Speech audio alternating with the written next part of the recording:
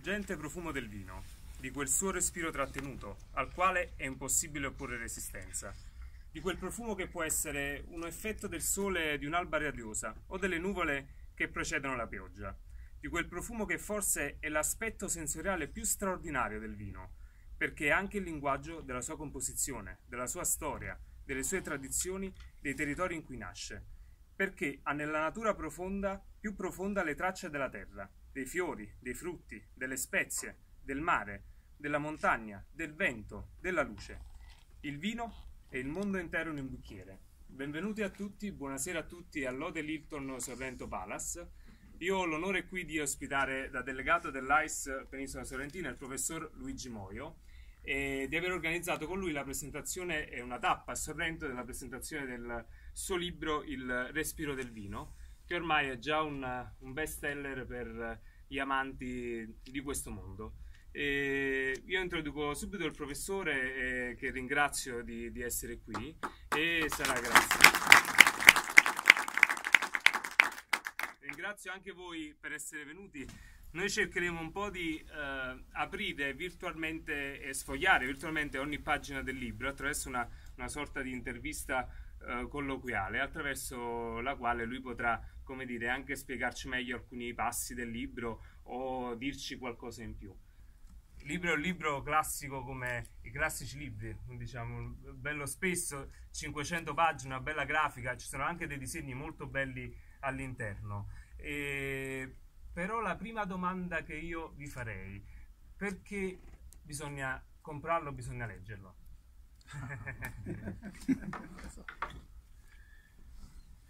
perché intanto vabbè, saluto tutti e ringrazio Emanuele per aver organizzato questo incontro che ho accettato volentieri anche se il respiro del vino sta togliendo il respiro a me completamente perché corro appresso il libro e non solo il respiro quindi perché ho raccontato l'altra sera che è successo all'Università di Pescara che poi mi hanno portato, siamo andati a cena e una lisca di baccalà è rimasta conficcata nel lavoro per un centimetro è stato, mi ha fatto un pronto soccorso d'urgenza quindi il libro sta e meno male meno male perché appunto cioè, sanguinavo tanto sangue poi cercavo di tossire per farlo. Dopo non ci sarà il pranzo ma una medicina quindi non, no, non c'è pericolo. la cosa, la cosa che mi è eh, non lo so, ho riflettuto dopo perché era baccalà mantecato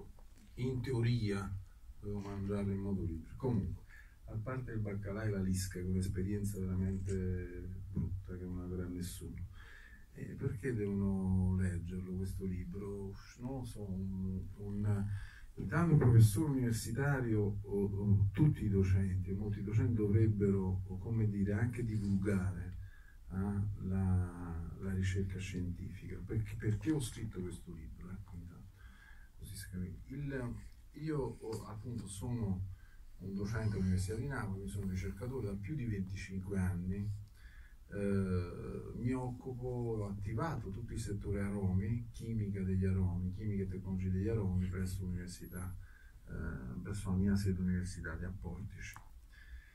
Ed effettivamente negli anni abbiamo spinto molto in questo settore, eh, non solo sul vino, ma un po' su tutti gli alimenti in modo trasversale. Io ho lavorato per quasi eh, nove anni, quasi dieci anni sui, sui prodotti lattiero-caseari, abbiamo fatto sempre eh, e anche su questi prodotti, quindi tutti i, i, i, i lavori oggi presenti in letteratura sull'aroma dei formaggi italiani sotto Moietal, Moietal, Moietal sulle riviste internazionali. Ovviamente il vino, il vino perché? Perché nasco in un'azienda, quindi sono legato al vino, e nasco col vino e, e volevo assolutamente far partire questo filone di ricerca. Il problema è questo, che quando noi scriviamo i nostri lavori scientifici, poi alla fine vengono letti sulle riviste internazionali da una trentina di matti come ci di appassiona di matti come noi. Il ricercatore vive permanentemente uno spirito fanciullesco perché è un eterno bambino, non giochiamo.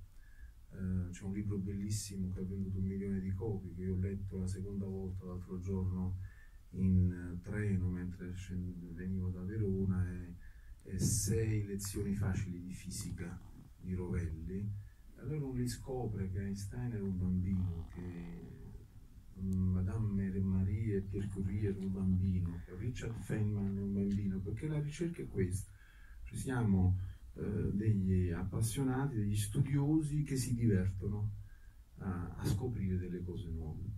E quindi gli obiettivi di un docente universitario sono due, la mission potrebbe sono quelli di generare nuove conoscenze scientifiche e ovviamente con l'insegnamento di trasmetterle ai, agli altri, ai docenti, eh, scusate, agli allievi. E in questa genesi appunto di nuove eh, scoperte, di nuovi argomenti, diciamo di questo avanzamento delle conoscenze, però ci troviamo a discutere tra di noi. Quindi i miei lavori vengono letti, io mi leggo quelli di, di un mio collega, mai di collega che lavora in Francia, in Germania, eccetera. Ai congressi scientifici la stessa cosa. Sono ritornato da un mese appunto dall'ultimo congresso in Bulgaria, ma quando parliamo di chimica degli odori, cioè siamo una cinquantina tra di noi al mondo. Quindi da una parte c'è stata la comunità scientifica che effettivamente avanza, fa i propri lavori, si diverte e quindi fa avanzare la conoscenza scientifica. Avanzare la conoscenza scientifica significa appunto fare degli esperimenti, c'è un'ipotesi, la scienza è questa, c'è un'ipotesi da dimostrare, si fanno degli esperimenti, il giudice e quindi la verità, cioè il giudice è l'esperimento. Quindi se l'esperimento conferma l'ipotesi, effettivamente vuol dire che un risultato è quello, altrimenti si ricomincia da capo. E nel mondo del vino poi c'è questo gruppo di persone che in 20 anni ha fatto davvero tanto, ha fatto avanzare tante le conoscenze scientifiche e poi c'è un gruppo molto più ampio ampissimo, cioè, fortunatamente per quello che ha fatto l'AIS, per quello che ha fatto tutte le associazioni anche in Italia, l'AIS, FISA, eccetera, di eh, diffusione della cultura del vino, di appassionati, diciamo così, nomi di appassionati. Di appassionati che stanno lì tutti quanti a roteare il bicchiere, sentono e quindi qualcuno che declama odori profumi e gli altri giustamente, eh sì è così, eh sì è così, bah, sarà così, non sarà così, eccetera. E quel sarà così e non sarà così poi porta a quello straordinario personaggio che è albanese a fare le sue parodie, no? Avete visto tutti quando fa la parodia del sommelier, poi a proposito di sommelier, io poi incontro sempre i sommelier nelle, nelle toilette degli alberghi quando si scambiano, stanno cambiando tre sommelier. e si vestono, c'è la vestizione. E allora questo libro fa incontrare questi due gruppi. Perché? Perché il profumo del vino è, è la sua parte più importante. Perché il vino comunica attraverso il profumo. Attraverso il profumo riusciamo a capire quale uva è stata utilizzata, eh? in quale territorio è stato prodotto quel vino, gli uomini che ci stanno dietro, la storia, la cultura, eccetera, eccetera. Senza il profumo un vino appunto diventa praticamente una bevanda alcolica e quindi è una semplice dose d'alcol, perché poi tutti i vini sono uguali senza il profumo. La dimostrazione di quello che sto altro, istintivamente chi riceve il vino porta il calice sotto il naso e comincia a roteare. Non si fa con la pizza, non si fa con un piatto di spaghetti, non si fa col baccalà che la settimana, tre giorni fa mi ha dato la spesa. Anzi, è un segnale di cattiva educazione perché se quando ci arriva un piatto noi cominciamo ad annusare, può essere effettivamente un segnale non negativo, diciamo, anzi di un cattivo comportamento, quindi non corretto. Col vino no invece, tutti fanno questo. Questa è la dimostrazione scientifica, c'è poco da fare, che il profumo è la parte più importante del vino. E quindi in questo libro io racconto di questo profumo, racconto di, intanto di come noi percepiamo gli odori, che è una cosa estremamente complessa, quindi siccome è un argomento molto molto complesso questo, e mi sono aiutato con, quindi, scusatemi, quindi come percepiamo gli odori, come si formano le molecole odorose, come reagiscono tra di loro, come evolvono durante l'invecchiamento del vino, come è possibile attraverso gli odori riconoscere una varietà quindi come godere in definitiva di tutta la bellezza del vino, perché il vino è essenzialmente questo quando è di grande qualità, quindi deve essere bello.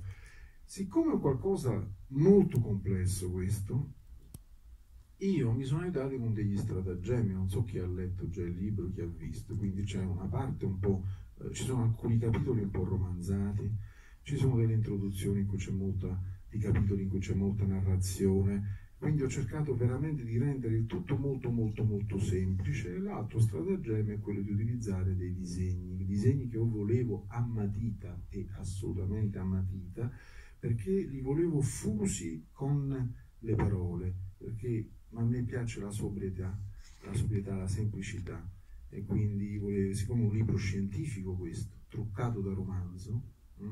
truccata da romanzo, quindi, quindi, appunto questo rigore, questa, non, foto a colori, non tutto ciò, eccetera, eccetera. Quando in definitiva, perché leggere questo libro? La domanda è, ma io spero, spero fino ad ora tutti sono contenti perché l'obiettivo mio è quello di trasmettere conoscenze e quindi di arricchire il lettore. Io spesso ci penso a questo libro, a, a, come ho fatto tra l'altro a scriverlo in due anni chiuso nel mio studio, ci sono riuscito, ne sono felice, ma penso anche al vino, perché ho un rapporto strano col vino, guardate. Non mi sono mai fatto risucchiare in modo completo, anche se sono nato in un'azienda. Quindi un rapporto, un rapporto, tra virgolette, anche un po' distaccato, in fondo è vino. Ed è la cosa più bella forse che, ed è stato creato essenzialmente per rendere la vita degli uomini più bella. Quindi io l'ho usato quasi in modo strumentale perché volevo parlare del profumo e dei profumi. Eh? E quindi c'è il vino, ma ci sono essenzialmente il profumo e la magia dei profumi, perché guardate la vita senza l'olfatto non sarebbe per nulla, per nulla bella. L'importante è saper leggere, ecco, mi posto questo problema, indipendentemente dalle basi umanistiche o scientifiche o chimiche, eccetera ma anche quello di, secondo me, apprezzare la scienza, perché noi stiamo vivendo, guardate, mi continuo a dire, purtroppo noi stiamo vivendo un momento in Italia, ma nel mondo intero, ma soprattutto in Italia, di cultura antiscientifica. Avete visto sulla vaccinazione, no? Sta succedendo. C'è una follia totale. Vedete, viviamo in una paura tutti quanti, abbiamo paura di tutto, effettivamente i terroristi, ci stanno questi attacchi terroristici, abbiamo paura di ciò che dobbiamo mangiare e siamo insicuri se questo è buono e quello non è buono e quindi i vegani, biologici, anfore, tutti sono diventati celiaci, è una cosa folle, una cosa folle, guarda la celiaci è una cosa, è una malattia seria, e, e, e seria, seria, seria, io ho una coppia di miei amici che hanno un figlio celiaco, cioè, ma da piccolo ovviamente, una serissima, tutto su celiaci, cioè, quindi gli alimenti, invece molti pensano che mangiano gli alimenti perché non ingrassano e quindi magri. C'è un'ignoranza spaventosa, perché oggi qualsiasi imbecille, purtroppo è così, non l'ho detto, l'ha detto prima Eco, di me, ma sono d'accordissimo con lui, cioè il web, Facebook ha dato voce, voce e vista agli imbecilli, c'è poco da fare. Qualsiasi persona scrive con una superficialità, superficialità incredibile, senza avere dei dubbi, quando io lo dico spesso a tutti, io mi sento, cioè la forza, soprattutto, un, per esempio nel mio caso, un ricercatore è una persona che sta male, cioè io vivo crisi esistenziali perenni, non vi dico poi nel mondo del vino, perché ovviamente il dubbio abita in me, cioè io convivo col dubbio permanente su tutto, e invece tutti sono sicuri di tutto. E anche nel vino sta accadendo questo. Una cosa bella, una delle poche cose belle, belle, belle che ha, invitato, che ha inventato gli uomini per rendersi la vita ancora più bella, non si capisce più nulla. Chi la deve fare? Anfore contro anfore, lieviti contro lieviti. E questo è così, è l'altra via totale. E allora io sospetto che molte delle cose che vengono dette negli ultimi anni, purtroppo, vengono dette, vengono dette cavalcate semplicemente